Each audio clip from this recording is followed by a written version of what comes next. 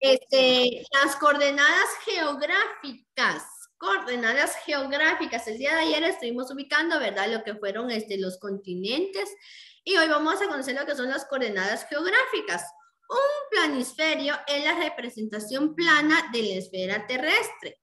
El análisis del planisferio permite conocer y explicar las diferencias entre los pueblos, mejorar la administración de los recursos naturales disponibles, diseñar y realizar las vías de comunicación, este, tomando en consideración los accidentes geográficos que eh, caracterizan cada zona del relieve terrestre.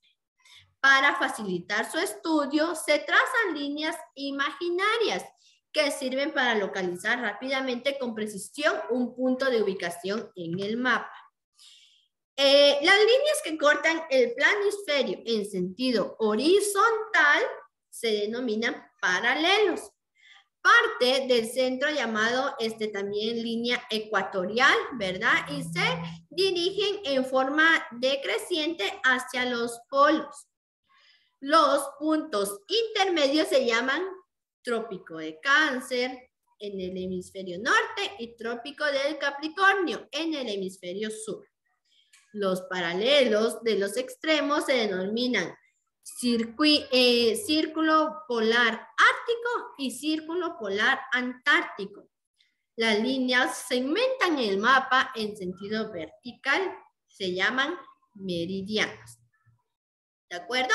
Se empiezan a contar de acuerdo en el eh, meridiano de Greenwich, Inglaterra, y dividen en el mundo el, hemisferio occidental y el hemisferio oriental, ¿verdad? Entonces acá este, vamos a, a, ver acá, si ustedes se dan cuenta en su libro, ¿verdad? Tenemos ubicado dónde encontramos lo que son estas líneas. Acá es, vemos lo que es de Ecuador, trópico de cáncer, ¿verdad? este círculo polar ártico, eh, trópico, vamos a ver, lo voy a acercar un poco más. Este, tenemos lo que es también este trópico de Capricornio, eh, círculo polar antártico, ¿verdad? Entonces vemos acá de qué manera están este, divididos y cómo se nos presentan acá. Tenemos lo que son meridianos. Nos señala acá lo que, como eh, en este caso, meridianos. Los paralelos, ¿dónde los encontramos acá? la latitud y la longitud, ¿verdad? Entonces, de esta manera nosotros este, podemos eh, ubicar como tal, ¿verdad? Las siguientes, em, acá nos dice las coordenadas y cómo, ¿verdad? Están este, divididos acá en este mapa, ¿verdad? Los cuales, pues, este, se le llaman así, ¿verdad? Porque sirven para localizar rápidamente algún punto de, de ubicación dentro del mapa, ¿verdad? Entonces vemos acá que tenemos lo que es el, repito, observemos acá, tenemos lo que es círculo polar ártico, eh, trópico de cáncer, Ecuador, eh, trópico de Capricornio, la longitud, la latitud y longitud como tal. Veamos, entonces acá está cómo lo encontramos dividido como tal. ¿De acuerdo? Muy bien.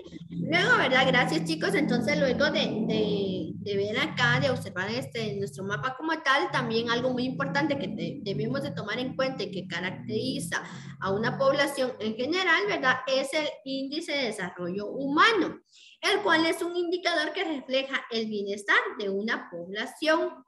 Este se establece a través de la medición de las tres dimensiones básicas del desarrollo humano.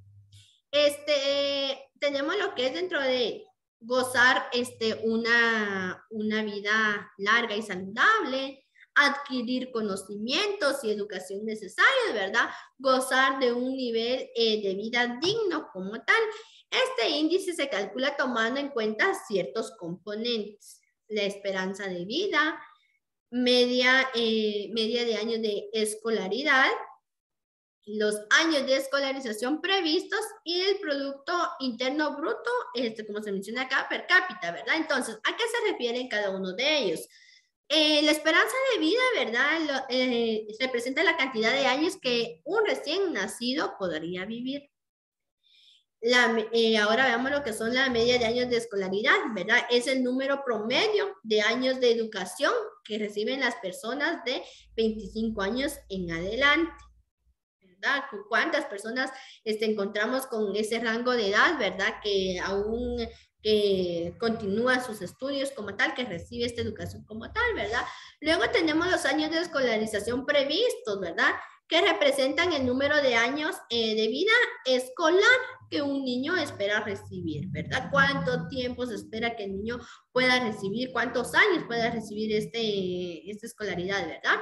Luego tenemos lo que es Producto Interno Bruto, ¿verdad? Como tal, es el ingreso de una economía generado por su producción nacional, internacional y externa el cual es dividido dentro de la población, ¿verdad? Entonces son estos ingresos económicos, ¿verdad? Que se tienen de manera este, general.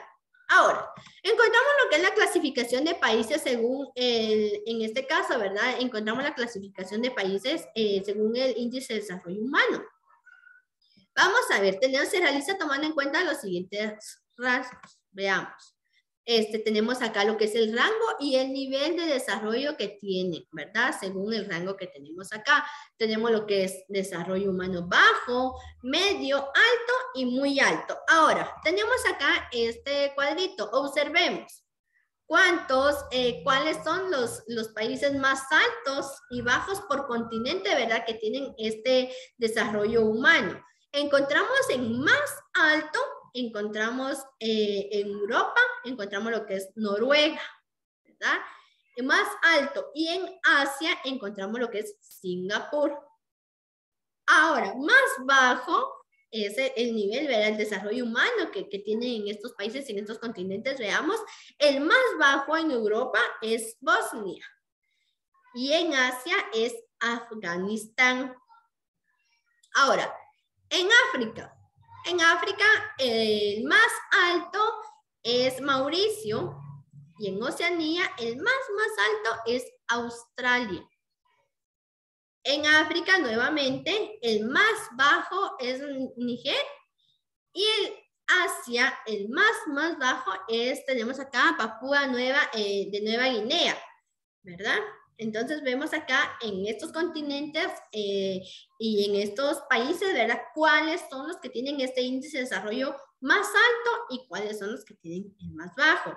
En América, ¿verdad? Este índice de desarrollo humano más alto lo tiene Estados Unidos, ¿verdad? Como tal, ya sabemos, ¿verdad? Que Estados Unidos es una gran potencia, ¿verdad? Y ellos, por lo tanto, tienen el nivel más alto, ¿verdad? De índice de desarrollo humano y el más bajo lo tiene Haití, ¿verdad? Guatemala tiene un nivel de desarrollo humano este medio como tal. Sin embargo, entre los 35 países de América, Guatemala ocupa el puesto 33 por encima de Honduras y Haití, ¿verdad? Entonces, si nos ubicamos acá, ¿en qué lugar nosotros estamos, verdad? ¿En qué puesto, verdad? ¿Qué, lugar ocupamos a nivel de, de, América como tal, verdad? Estamos en el puesto 33, ¿verdad? Y el más alto lo tiene Estados Unidos, ¿verdad? Entonces, eh, a nivel mundial, de los 180 países, ¿verdad? Eh, listados por la ONU, Guatemala ocupa el puesto 128, ¿verdad? Y Noruega como tal, el número uno. Entonces, imagínense a nivel este, mundial estamos en el puesto 128 y Noruega el número uno, como tal ya lo veíamos, ¿verdad? Que es un, de, es, un del continente europeo, ¿verdad? Y tiene un índice de desarrollo humano este, muy alto, ¿verdad? El más alto podríamos llamar en, en general, ¿verdad? Entonces Noruega es el, el, número uno al nivel mundial siempre, ¿verdad? Eh, muy bien. ¿Alguna duda? Entonces, ahora este, vamos eh, siempre, ¿verdad? Tomando en cuenta, veíamos qué continente, en qué país estaba eh, en, el continente, ¿verdad? ¿Cuál es el país que tiene mayor índice de desarrollo humano, ¿verdad? Este, ahora vamos a continuar hablando, ya sabemos que en Euro, eh, encontramos acá lo que es en Europa, ¿verdad? Noruega, y pues ahí encontramos lo que es este, el país número uno, ¿verdad? A nivel mundial, con eh, mayor índice de desarrollo humano, ¿verdad? Entonces, siempre continuamos hablando de los continentes. Ahora les voy a presentar un pequeño video.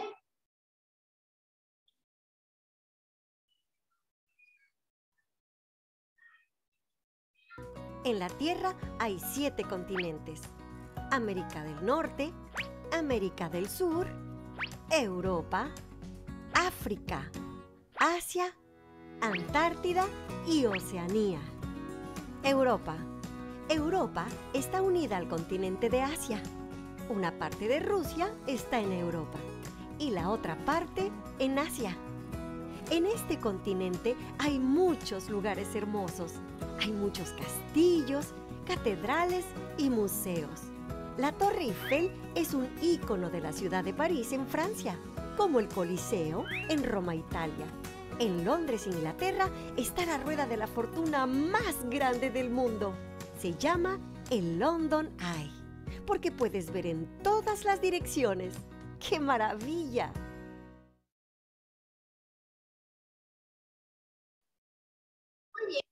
Este, luego, ¿verdad? Que veíamos este video anteriormente, ¿verdad? Recordemos que siempre tenemos lo que son este, nuestros continentes, ¿verdad? América, Europa, tal. En el video veíamos lo que era América del Norte, América Central y América del Sur, ¿verdad? En general, solamente es un continente, ¿verdad? Que en general, pues se ha llamado de que de que es que es América del Norte, América del Sur, ¿verdad? Pero es solo un continente, ¿verdad? América en general, ¿verdad? Entonces ahora, este, a través del video, pues viajamos un poco a lo que fue este, Europa, ¿verdad? Y lo que encontramos en él. Y como tal, hoy vamos a conocer un poco más acerca de, de este, de este continente, ¿verdad? Tenemos acá que Europa, ¿verdad? Tiene 50 países independientes. ¿Sí? Este, una población de 738 millones de personas, ¿verdad? Eh, aproximadamente, ¿verdad? Y luego vemos acá la ubicación del continente europeo, ¿verdad? Tenemos acá, eh, veamos, eh, Europa Occidental, ¿verdad? Si nos damos cuenta, acá también vemos Europa Central, Europa del Este, ¿verdad? Así como lo veíamos en, en América, en el, en el video anterior, ¿verdad? Que América Central, América del Norte, ¿verdad? Pero en general es un continente. Entonces tenemos acá eh, Europa Occidental, Europa Central Europa, y Europa del Este, Escandinavia, Reino Unido, en islas nórdicas, ¿verdad? Entonces vemos acá, encontramos a Rusia, si nos damos cuenta, aquí está Alemania, voy a tratar de, de, de ¿verdad? Si nos damos cuenta, acá encontramos a lo que es Rusia, Acá tenemos Alemania, ¿verdad? Que en su mayoría pues son un poco más característicos, ¿verdad? Tenemos a Polonia, vean, aquí está Ucrania, ¿sí? Eh, aquí tenemos Turquía, Francia, ¿verdad? Vean, acá está España, Portugal, ¿sí? Veamos los, los países que, que tiene este, este continente, ¿verdad? Vean. ¿Sí? Finlandia, Suecia, Noruega, vean, acá está Noruega, miren. Aquí encontramos a Noruega, miren. Veamos, acá está Noruega, ¿verdad? Y siendo un país tan pequeño con un alto índice de desarrollo humano como tal, este país, ¿verdad? Entonces veamos este, algunos de estos pues, eh, países característicos, ¿verdad? De, este continente, ¿verdad?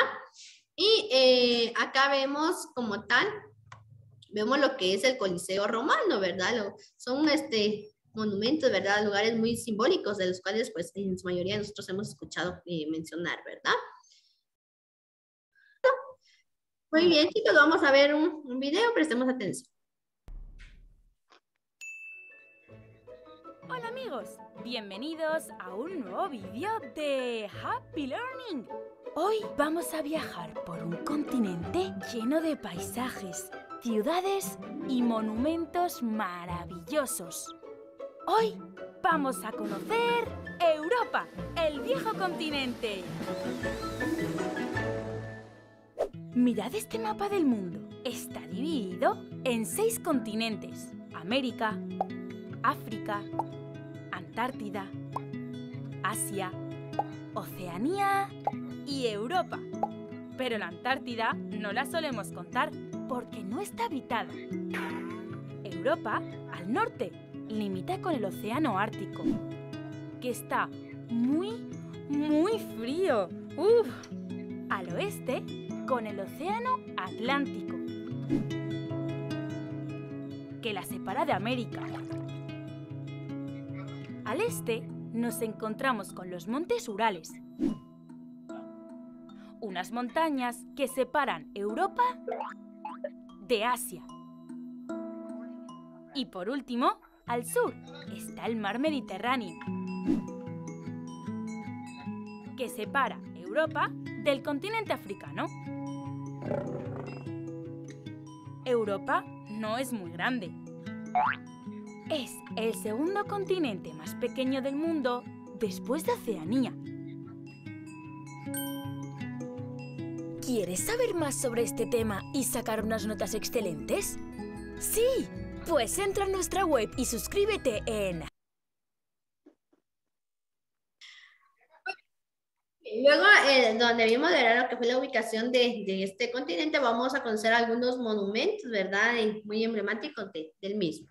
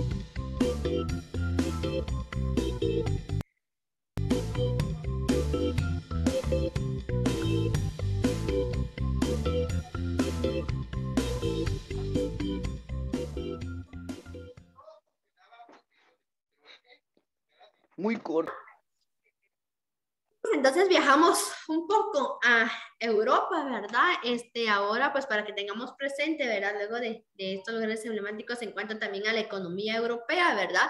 Se sustentan los factores de, fundamentales, ¿verdad? Que es el sector eh, manufacturero y el de servicios, ¿verdad? Eh, este nos menciona acá que en la, eh, se caracteriza, ¿verdad?, por, eh, por albergar industrias de alto valor agregado, ¿verdad?, con rendimiento de, de ganancias como tal, ¿verdad? Este continente, en el continente pues europeo, ¿verdad? Es, importante, es un importante productor agrícola de cereales, aceite comestible, fibras, fruta, ganado y sus derivados, ¿verdad? En su producción de centeno tiene lo que son papas, avena y trigo, ¿verdad? Es lo que se encuentra generalmente entre las mayores del mundo, ¿verdad? Por su lado, la industria atractiva forestal, eh, como tal acá, ¿verdad? dentro de ello, pues este, se encuentra lo importante, ¿verdad? Que es, es, forestal es importante en Rusia, en Suecia y en Finlandia, ¿verdad? Mientras que la pesca se produce a gran escala, principalmente en Noruega, Islanda, Rusia con otros centros pesqueros importantes como Dinamarca, Reino Unido y Países Bajos, ¿verdad? Eh, Europa es, un es muy importante, ¿verdad? Es muy importante dentro del comercio mundial, ya que exporta productos industriales o eh, manufacturados e importa petróleo y sus derivados, ¿verdad? Metales, materias primas y productos alimenticios, ¿verdad? En cuanto pues veíamos que a la población europea, ¿verdad? Se considera que existen eh, alrededor de 160 grupos poblacionales distintos como tal, ¿verdad? De este continente, ¿de acuerdo?